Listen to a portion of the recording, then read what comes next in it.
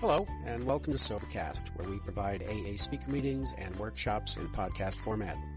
We're an ad-free podcast, and if you enjoy listening, please help us be self-supporting by visiting Sobercast.com, look for the donate link, and drop a dollar or two into our virtual basket. We hope you enjoy the podcast. Have a great day. I'm Mary Beth. I'm an alcoholic. And um, thank you, James. You sat up here every week for um, all these weeks, and um, I'm grateful for that. And um, I also want to thank all the women that have come before me because I remember when I sat. If you know me, I, I don't like to like uh, schedule things. Like I'm not good with scheduling, and and so for me to get on the phone and call like a million women to see if they can come on certain dates to do certain things, um, it's just not my gift. And it, the women made it so easy for me because every single woman said yes right away. It was amazing, and only one person had to back out and um, someone that she sponsored ended up covering for her for two weeks. So it was really amazing. Um, so I, I'm really grateful. As Dave said, we're, we're surrounded by some really strong women here in recovery, and um, I get to watch it all unfold. And uh, tonight I was just kind of wondering, you know, how many people. Isn't tonight the last night for Friends on TV or something like that?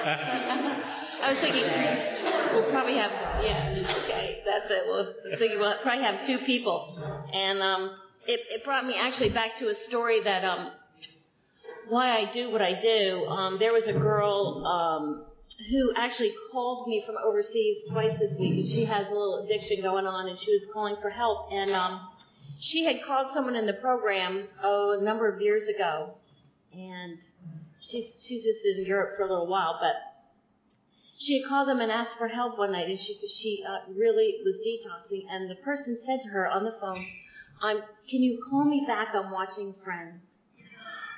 Okay? Yo. I have never done that. Okay. Um, this girl, many years later, is still out there. And um, so I I, uh, I tell that story because I thought Friends was the last night I saw, so I thought there would be nobody here. But um, yay for our group. Um, but it brought me back to uh, the the um, right before well right when I was drinking and I was actually was the night I was ripping the phone out of the wall in a hotel room, and um, my sister went and, and talked to a priest and um, said, you know, can you do something? I don't know what to do. You know, my sister's supposed to be taking care of me and and um and uh, she's a mess and um that priest on a Saturday night um at six o'clock met with me and um, took his time out to sit with me for a very, very long time, maybe an hour, maybe two hours. And I can say to you that when I was sitting there with him, there wasn't one single moment when I didn't think I was the most important person in that room. Now, in retrospect, looking back and having worked with others a lot at all times of day or night or weekends or whatever, when sometimes emergencies come up, um, you know, that priest could have had his mother in town that night you know, for the first time in a long time, or his good friend, a priest, could have been, you know, visiting from Ireland or something. But but I never for a second thought that um, that he had anything else on his plate, you know, or he maybe was ready to start drinking his wine, you know, who knows. But um, he taught me something about um, about humility and about um, being present and being a channel for God and um, and I say the God of my understanding for any of you new people um, and it was something that I didn't have before because when I was out there drinking, um, I I would be there for you up until a certain point when I couldn't be there for you anymore. We just never knew when the cutoff was. And um, and some of those cutoff times were times would bring back really bad memories for me not treating people well.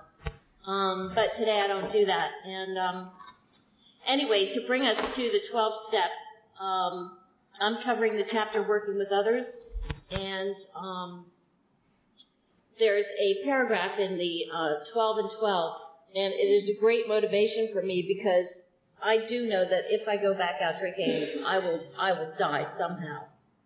And um, and it says, unless each AA member follows to the best of his ability our suggested 12 steps to recovery, he almost certainly signs his own death warrant. And um, you know, it's been so long since I've had a drink. It, uh, sometimes it seems almost impossible that I could drink again. And um, but I had a short period of time in the city um, late last year when I was away from my home group for a couple months, and I was I was in between, I had another group kind of in New York, but I was in between and I, and, and looking back on it, I started to fantasize about the drink.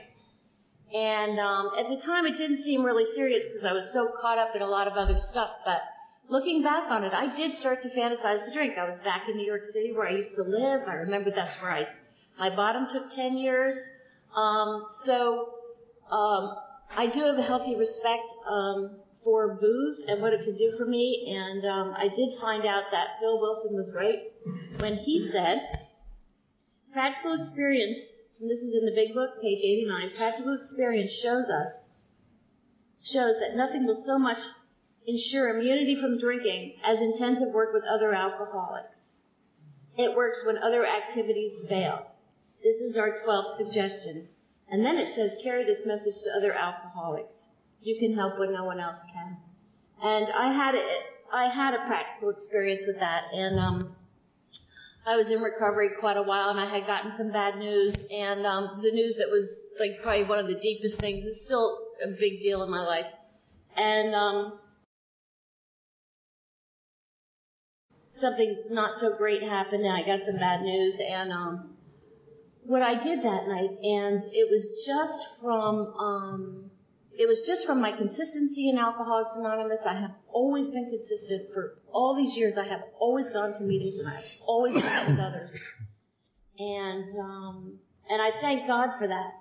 But I got this news and I went to a meeting that night and there was a newcomer there and I was there early and I went early because I had nowhere else to go. I just, you know, I just was in so much pain. And there was a girl there, and it was the two of us. And I looked at this girl, and she looked at me, and she wasn't happy to see me because she knew that I worked with others, and and and I knew that she hated AA. And so some, and she did. She hated AA. She had to come, and um, so I tried to I tried to help her. I tried to talk to her, and no matter what I said to her, she disagreed. And um, I would come, you know, I just tried to carry the message a little bit, and I was what I was doing was trying to save my own life, so I didn't die. And what happened is I did, I never did see this girl again, but I stayed sober through something that was inconceivable. And I say to you, Bill Wilson just kept it very, very simple. And he said, I have to go find a drunk, and maybe, maybe, just maybe, I won't drink tonight. Um, so as far as working with others, the, the, the, most important thing I have to say is I have to remember where I came from.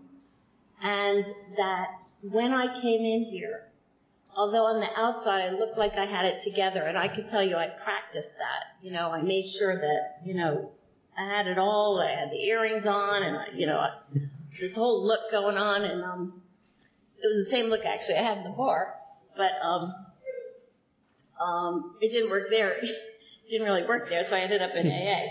But uh, I had this um, I had this outside going on, but the inside was I was broken into a million tiny little pieces, and I couldn't put thoughts together. I certainly couldn't read. The 12 and 12 they would give me to read, and I just I couldn't focus to read for a really long time.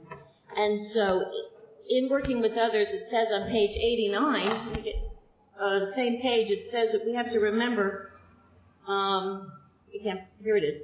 Remember, they are very ill. Secure their confidence. We can secure their confidence when others fail. And remember, they are very ill. And um, I guess the first place I come from is a place of love and compassion. And that's the way I am. Um, it's not the way I used to be.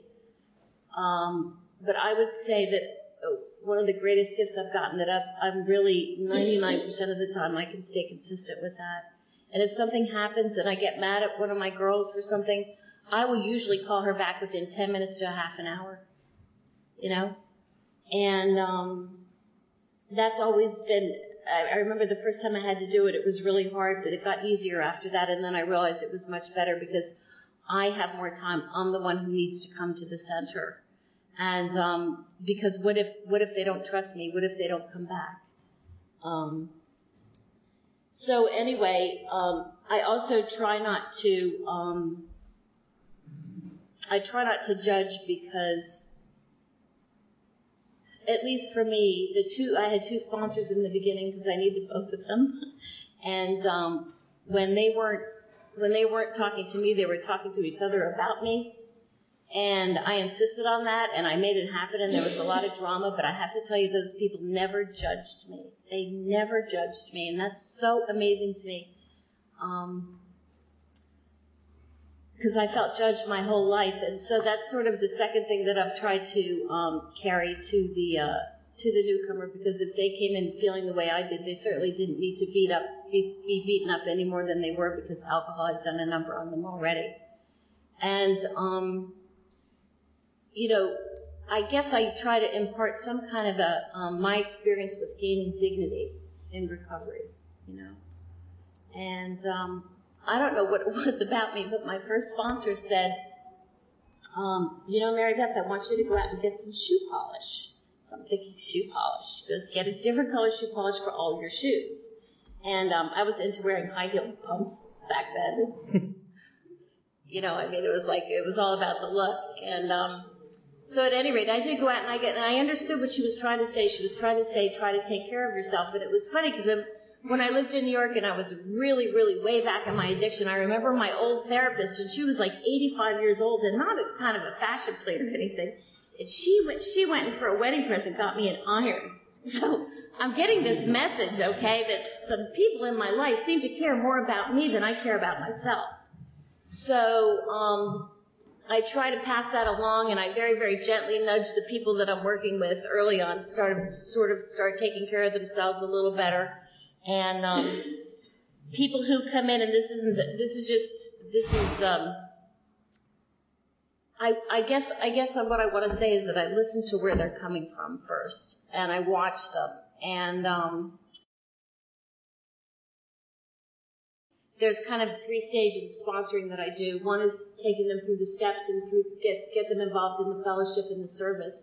And there's another stage, which is the mentoring stage, which is kind of a little bit what I'm talking about now, giving them some tools for self-respect in a way. And then the third stage is the peer sponsorship, which is the part where if I'm in really, if I'm in trouble, I have the women that I've worked with to turn to, to be there for me. And I've had that experience um, a number of times in recovery. Um,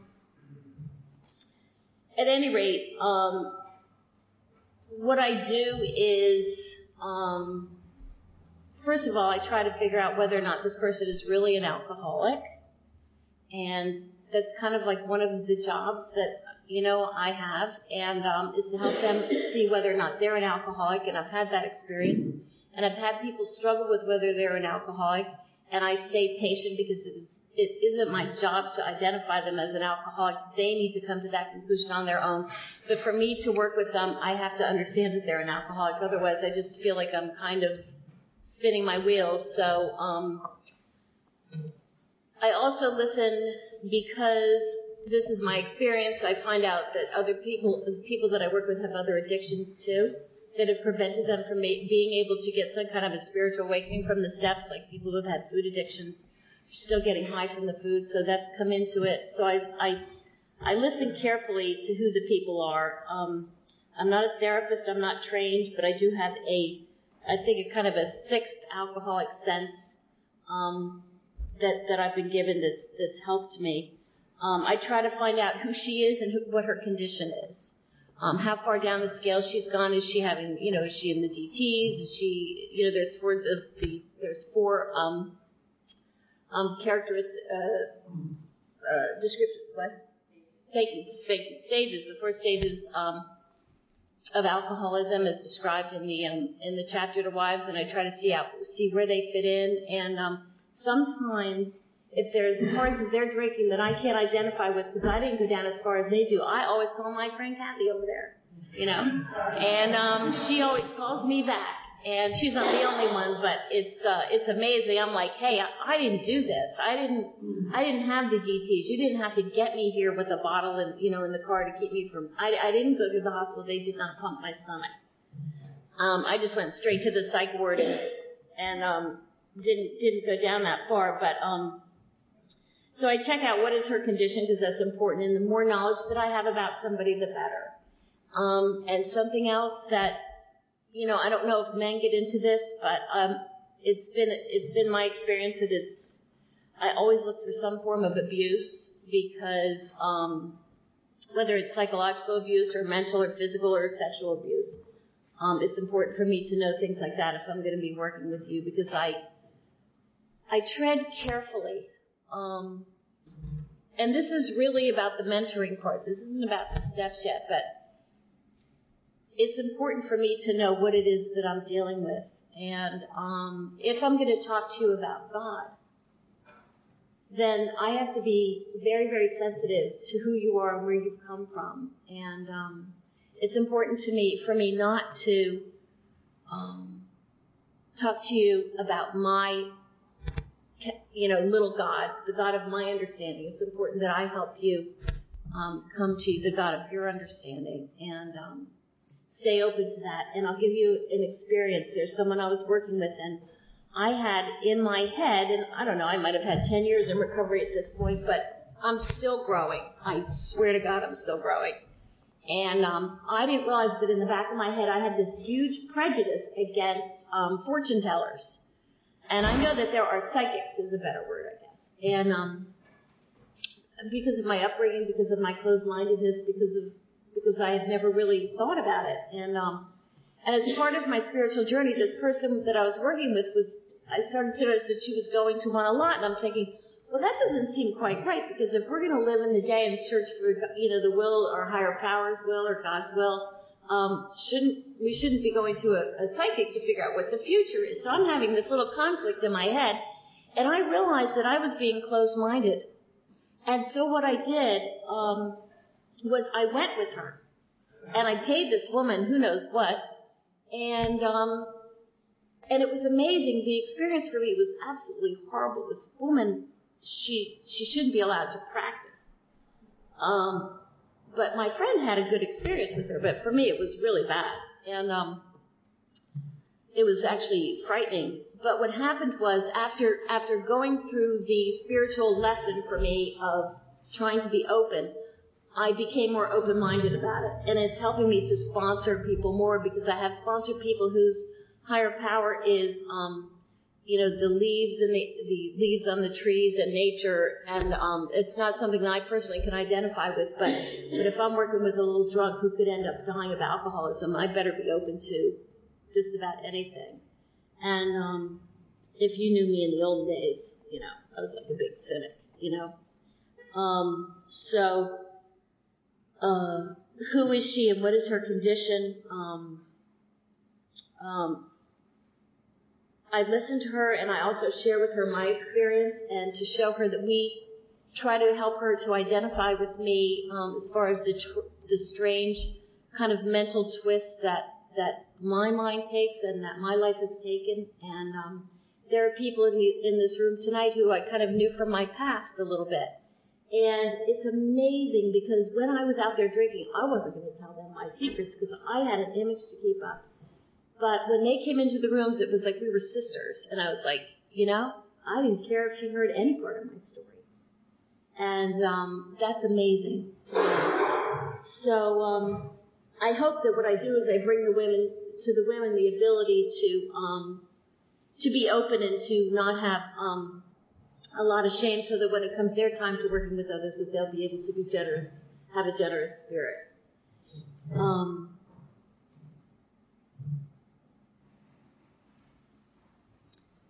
I want to get to the um, the the uh, one of the three um, stages, which is um, the steps and the fellowship and the service work. Because um, I've been talking about the mentorship a lot, and that's funny because I wasn't really going to get to that first.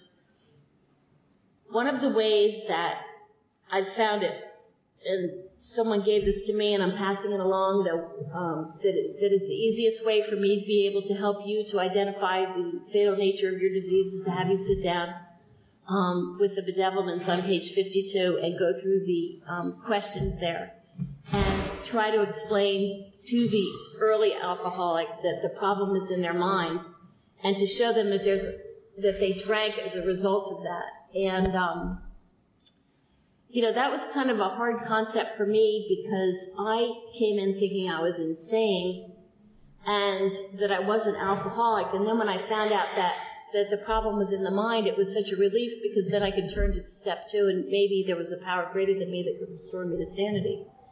And um, so I have the um, people sit down and go through the bedevilment exercise, which is such a great exercise, and it was covered here, I'm sure. But um, for any of you who aren't familiar with it, um, you know, some of the questions are we were having trouble with our personal relationships. Well, that was me. I had them. I had problems at work. I had problems at with my um, ex-husband. I had problems with my in-laws. I had problems with my friends. I was, you know, a chameleon. I was had I was many different people. I couldn't control my emotional nature. I kicked over motorcycles and things like that. Um, I kicked over my psychiatrist's table. I was the only one who's ever done that. We were prey to misery and depression. And when I wasn't being angry, you know, I was, I really was miserable and depressed, or else when I was high, you know, sometimes I'd be really happy. We couldn't make a living. Well, I had lost my job, so I have that experience to share with newcomers. I'd lost my ability to work in my field altogether. We had a feeling of uselessness. Well, it is the opposite of what I experience today because, um, you know, I would I would set out to do good things for people or to become your friend, and it just would always blow up in my face. And people would say I would sabotage it but really it was, I just didn't, couldn't go any further. You know, I, I would want to go further, but there was so many lies going on in my head and so much manipulation. So, at any rate, reading these, ha- having the newcomer go through these sentences and, and, ident- and identify for themselves that the problem really was in their mind, and that booze fixed it, because it says here, was not a basic solution of these bedevilments more important than whether we should see newsreels of lunar flight? Of course it was. Um, but at any rate, they go on with the, You know, there's a couple more sentences there, but um, I think it's one of the most powerful exercises because I see people's faces and they say, "Wow, no wonder I drank." You know, and I drank to calm down the the um, terror and the um, for me it was the good morning dreads and um, so that I think rather than have people cut, write a life story, which I usually just sit there and listen to their life story because that's what we do when we meet them. Um, I find out who they are. Um, writing this out, exercise out is is really um, it, it cuts through a lot. It, it saves a lot of time, I think. But um, and I take them to the second step and I show them that um, we can be restored to sanity. And there's something that happens here. Um, for me, when I got sober, I really thought I had a God and this and that, and truthfully, the God that I had, I didn't understand and didn't feel particularly close to. So, um, today with the women, I sit down and I say, you know, who is your God? And they'll say, well, I think it's this and I think it's that. And I said, well, why don't you define what you'd like your God to be and let's see if you can start to reach for that person. And they, I've had this experience twice where they just kind of sat there with a blank piece of paper and I had them do this with me um, while I'm there, and um, they struggle. And why wouldn't they? And so I said, well, why don't you think of this? What would you like in a sponsor? What kind of qualities would you like in a sponsor? And they'd say, well, you know, kind or focused or loving or helpful or whatever. And I said, well, wouldn't you want your higher power to have those qualities? So then they start to get really, it is true, I really do do this. They get all excited and they start writing and they take it home and they finish it and that works. And um, they come back and they read it to me, and um, the next time, and then I we take the third step together. And you know, some people do all of this in an hour. I've done it that way. Some people do all of this over a period of weeks. Some people do it over a period of days. Whatever it is, I go by what I go by what my gut says to me with that person because every single person that I work with is different. Um, and I'll tell you why I think that when we get to the fourth step. Some people come, and this is amazing to me. I'll never forget the first time it happened because I'm like, I'm an artist, so I'm pretty loose. And so you'll get my four step sheets and they'll be, you know, they just sort of be this pile and it's not such a neat pile and it's not that organized, but it's real and it's true and I've worked really hard on it. And I, I'll never forget the first time I got someone in front of me who showed up with a notebook with um, highlighters and tabs and cross references. And I was like, wow, they really did that. And it's amazing. Like, I want to be them. That's what I want to be. And, um, and I think it's easier that way because I was the Cliff Note person in high school doing it on the bus. That was me. Mm-hmm. So, um, I think that the next four step I do, I'm gonna get, I'm gonna take some instructions for some friends of mine and get out a notebook and do it that way because it's very cool. So, but at any rate, I do watch the people and how they do their four step and how they handle that, and it tells me a lot about who they are.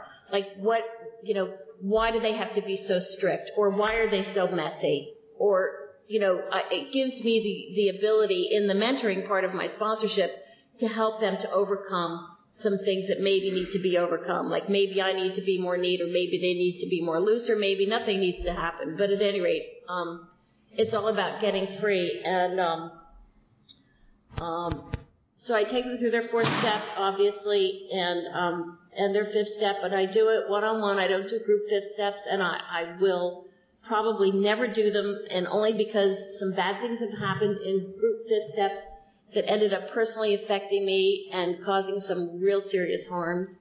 So um, I did try to be open to that um, last December. I even said it over a microphone, speaking at a, another commitment that I was more open to it, and then some more damage was done with somebody else I knew. So you will never see me do group steps because it is just too easy to have some of the things shared that need to be sacred. So um, that's just kind of where I stand, and I'm not I'm not going to be negative about it, but I was personally affected, and um, it was very upsetting and traumatizing. Um,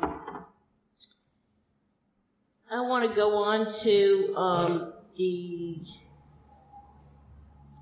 sixth step, which is um, um, making a list of the people that that we harmed, and someone did this with me, and so it becomes my own personal list.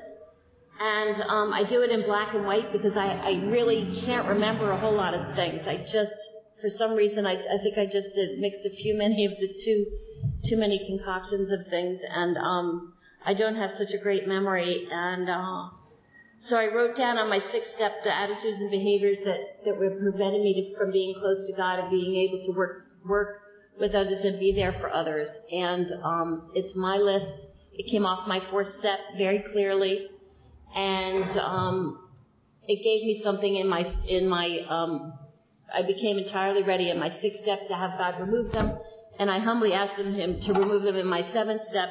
But I asked the women to, to keep the list because I know for me some of those things I really didn't address right away or God didn't take right away, and they did come back to me. And I, I realized that sometimes whenever I'm stuck, I need to go back to that list and um, what did I fall short on? And I and and it's it's kind of always there in red.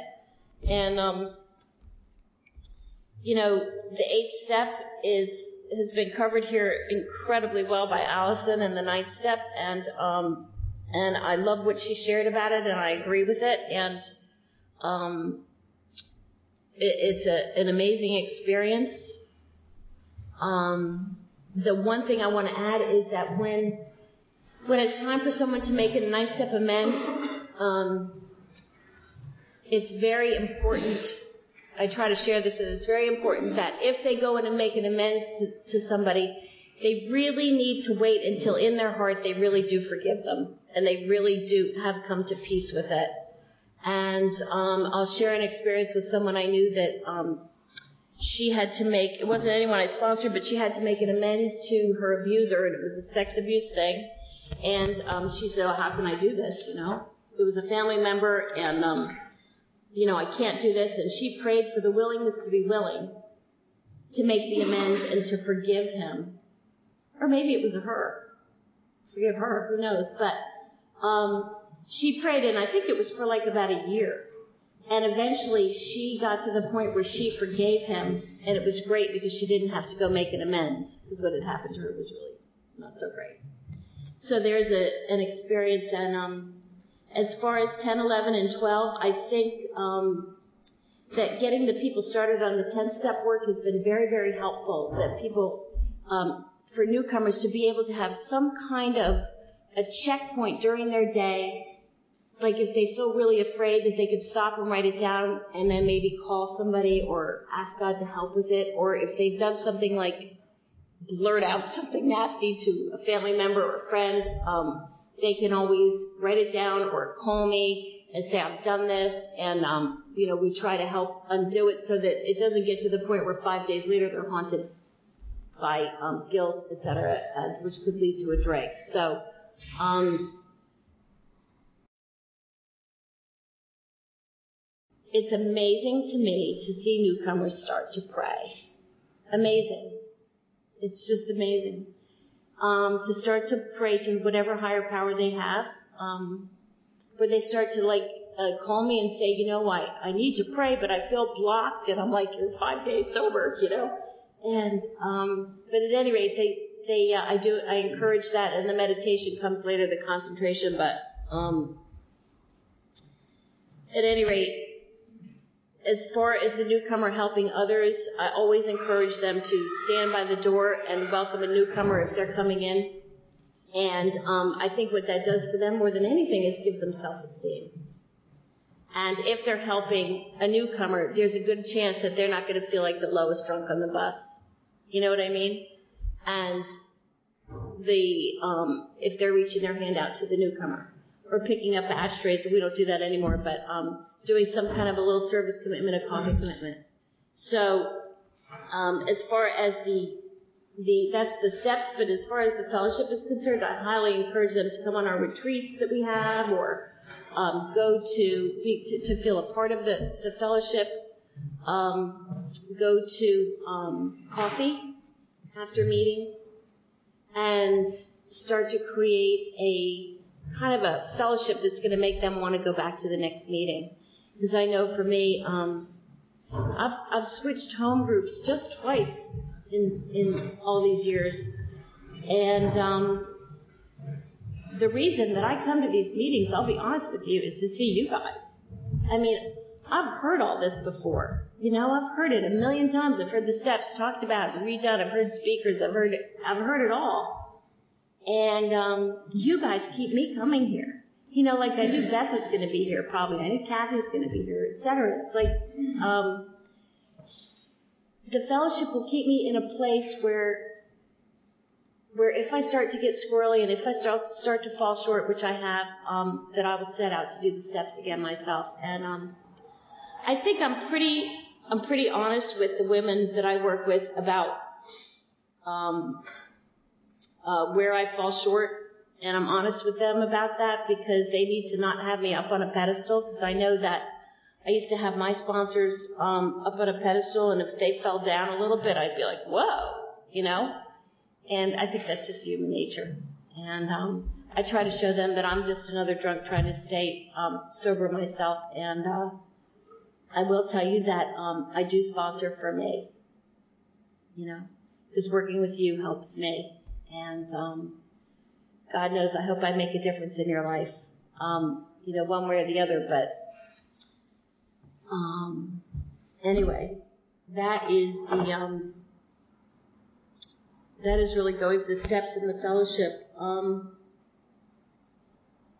I have seen some amazing things, especially with men. Like there's a lot of women, you know how we are. We, we were all sort of women sort of band together, you know, and share things. That's kind of the way we are. But I've seen the most amazing things happen to men in recovery, which is, you know, men who, you know, are sort of taught to don't share, it, don't become a part of a group, and this and that, and um, and men sharing really, really private stuff, and I see men running together and, and doing charity work together, and I see it, it, it's just, I think that we've got something incredibly special here. Um,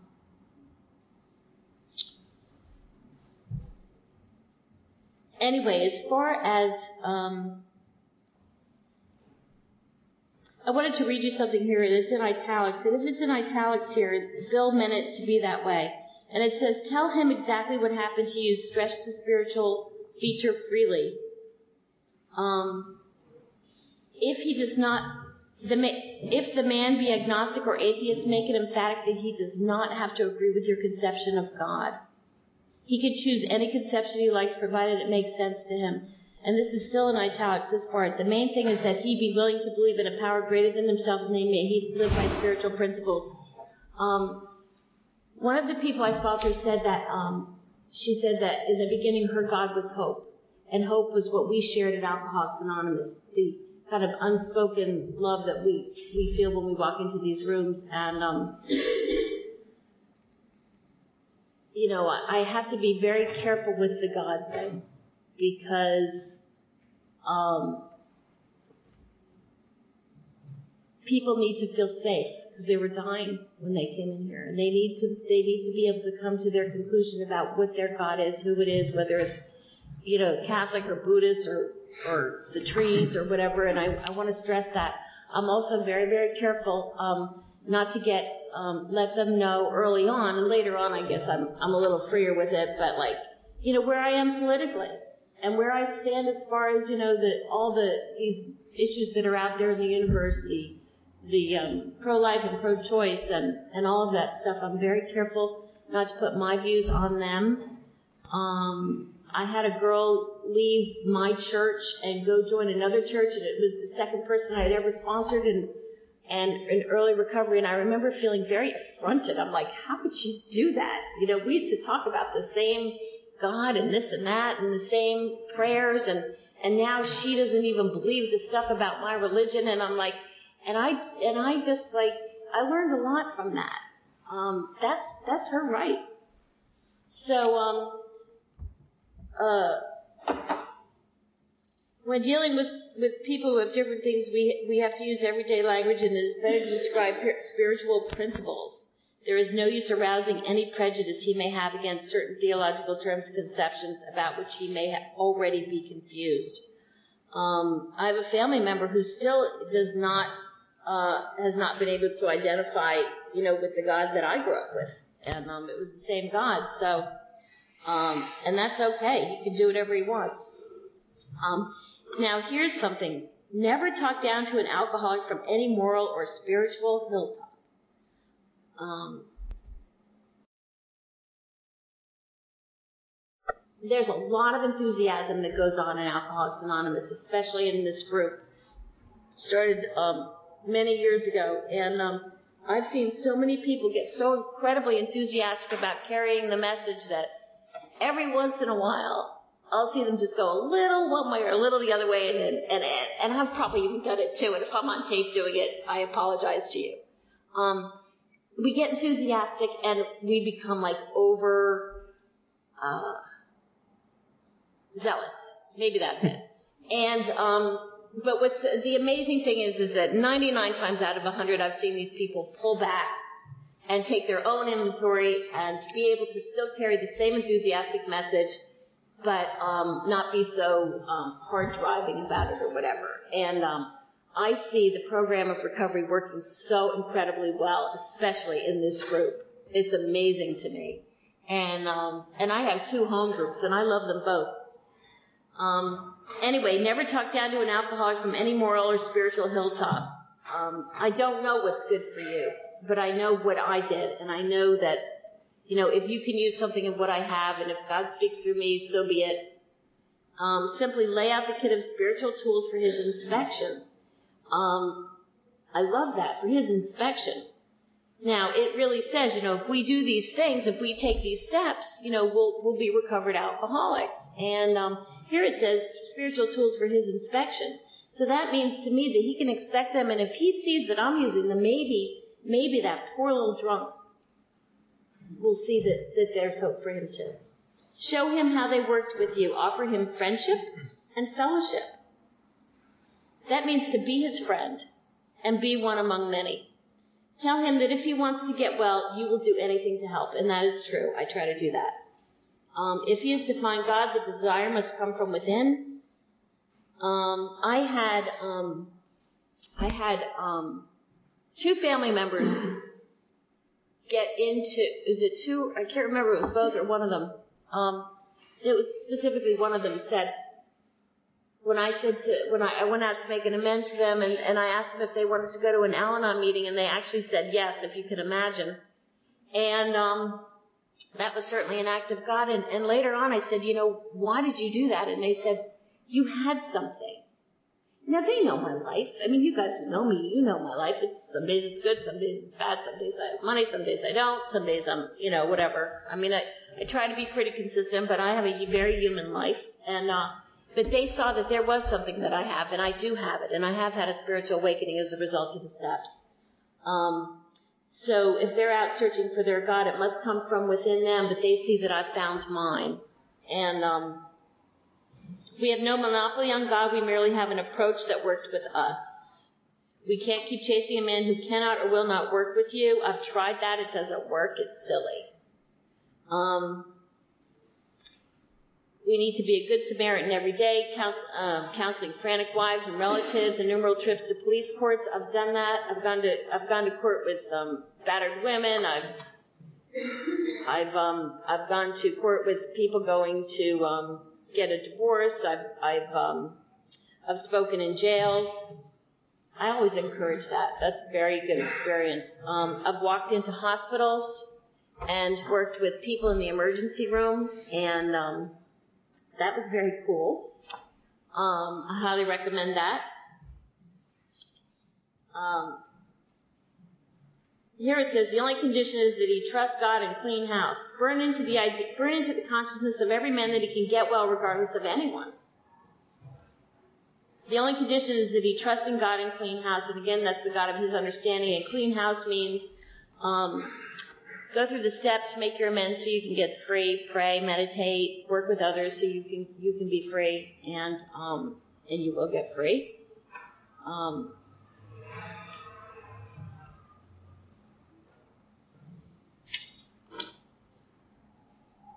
let no alcoholic say he cannot recover unless he has his family back. Well, I didn't get everything I wanted in AA, so I don't. I have. I do not promise you. Um, in the beginning, I'm careful about this because I really needed to believe certain things were going to happen to me. I really, really needed to believe it. And luckily, it was years later that I found out that I wasn't going to get everything I wanted. But um, uh, I don't promise you that you're you're gonna you're gonna you know not lose your baby or that you're gonna have a house or you're gonna you know have um, not lose a child or a spouse or get married or something. I, I don't promise you those things, but I promise you that um, when you start to listen to the God of your understanding after you've cleaned house and you feel a clearer channel, you're going to find the peace and happiness inside, and um, be able to um, uh, hear the voice of your of your God.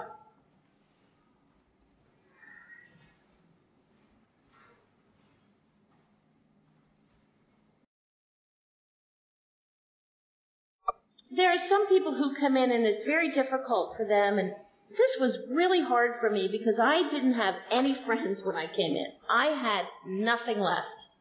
And this was something that wasn't my experience. So um, when people come in and they have old people places and things, and the old people are like um, seven sets of couples who they've partied with for years, and they can't imagine not partying with them. I'd say with one person, it took me two years to get them away from these friends but it was I, I can't say get them away. I can say that encourage them that maybe that this wasn't working, and you know through through many of our conversations, and little by little they came to believe that hanging around with people who were high on drugs and drunk all the time is not necessarily something that makes them happy anymore. And they did have to come to their own conclusions through difficult times. Some people have probably slipped. I can't pry people away from their friends. I swear to you, I I, I tried a little bit on different occasions and it just doesn't work. It has to come from them. Um, I went into a liquor store once to get um, cigarettes in early recovery because, well, of course I smoke, you know, and it was there. I was on my way to a meeting with my sponsor. I said, "Oh, could you stop at the liquor store? I need to get some cigarettes." and she let me go in and come back out, and she goes, "Can you never do that again?" but I was a little mocus you know, I'm a little mocus newly recovering. And um, it didn't occur to me that that was a silly thing. So I recommend to people, you know, try not to go into bars, you know, unless you have a really important reason for being there. And, um, you know, we're not, but later on we're not so afraid of anything or anybody, but, you know, in the beginning, yes, we need to pay attention.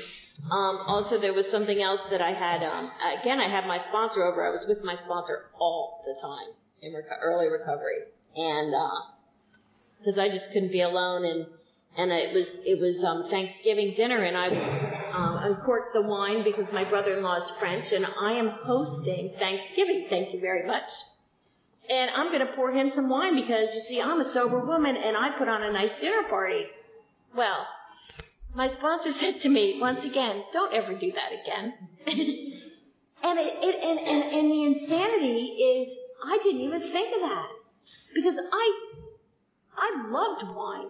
What was going to stop me from smelling the wine, wanting to have a little, little sip of it, you know, or a bottle of it before dinner? And, um, and and so that that was something else that I wanted to sort of pass along because uh, I need to really be there um, uh, with the girls, uh, just to kind of pass those tidbits along, and it kept me sober. And um, one other thing happened in, in uh, with her, and I'll share this with you, is that I stood up at a meeting, and this just goes to show you. A year later, I didn't have a clue, and I didn't stand up. I I shared at a meeting that um, people were talking about marijuana, and I'm like, raised my hand. I'm like, well, you know, I think I have some marijuana at home in my drawer, and I didn't see anything wrong with that. So my sponsor said that she would come over the next day. She should have come over that night. And I said to her, you know, it's no big deal. I really don't know where it is. And um, so she came over and she goes, okay, let's get it. And I'm thinking, boy, this is really dramatic and dumb. So what do I do? I reach right in my drawer. I know exactly where it is. I pull it out. I go to hand it to her, and I burst into tears. You know, I was like losing my stuff.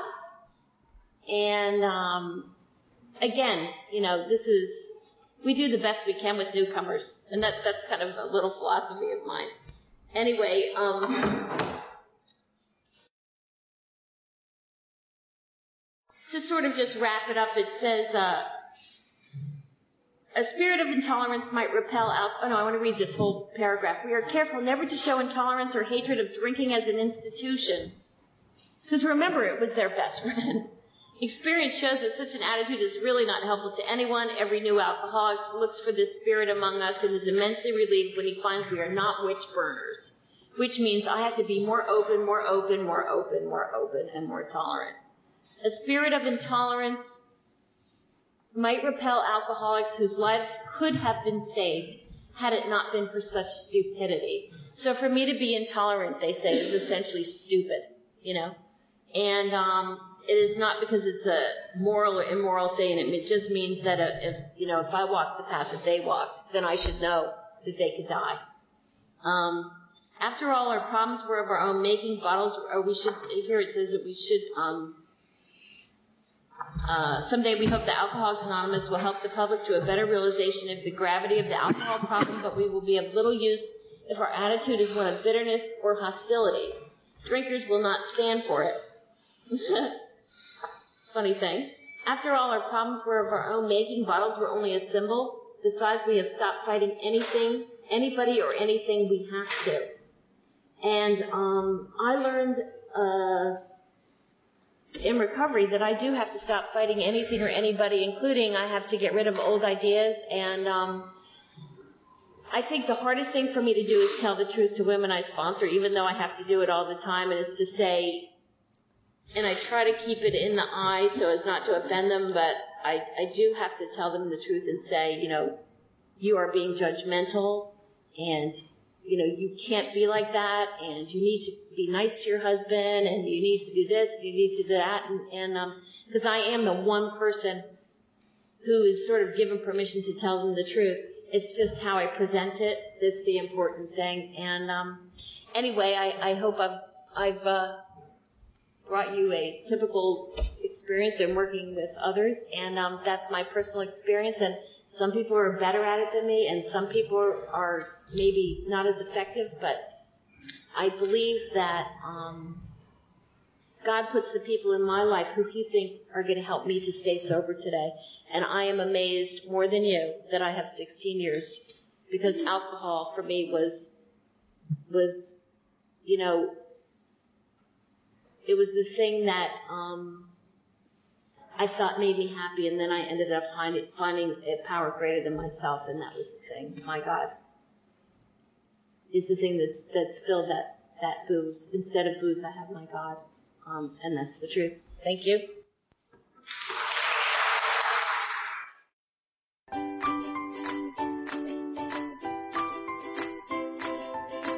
Thanks for listening. I hope you enjoyed the podcast. Sobercast is ad-free, and we'd like your help in order to keep it that way.